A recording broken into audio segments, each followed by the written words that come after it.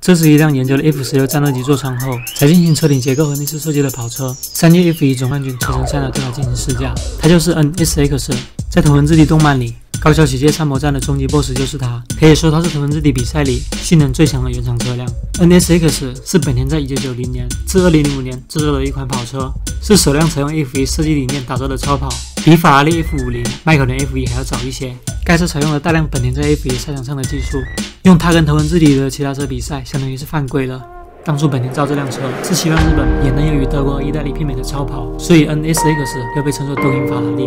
车辆研发出来后，为了能有更好的调教，本田邀请了车神塞纳在年度 G 比赛中对其试驾。塞纳根据多年的驾驶经验，对该车提出了不少独特的改进建议。后来本田也曾将两辆 NSX 赠送给了他。